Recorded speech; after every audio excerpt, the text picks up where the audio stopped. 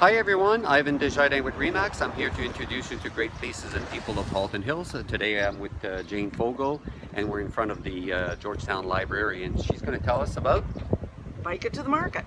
eh, which is coming up soon. It is. It's on uh, June 25th, and uh, we're inviting people to ride their bikes down to the Georgetown Farmers Market. All they have to do is uh, show up at the parking lot down down at the end of the street here. Uh, we've got valet parking that's free. Yes, we will park your bike for you and your trailers and everything. Uh, we'll give you a ticket and then you get a free pancake breakfast courtesy of the Rotary Club. Show up on your bikes Awesome. for the whole family. And the parking is like right there, the park. Just- Okay, let me just give you a visual. See, all the way back there? Down at that artistic tree down there. There you go. We take over the whole parking lot. We've got some activities for the for the kids, coloring and decorating your bikes.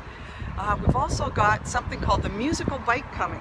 Oh, And you have to see it to believe it. It's got drums all along it. It's huge. It's colorful. The kids will just adore it. And there's buskers. Of course, there's buskers, Ah. unicycles, and all kinds of things going on.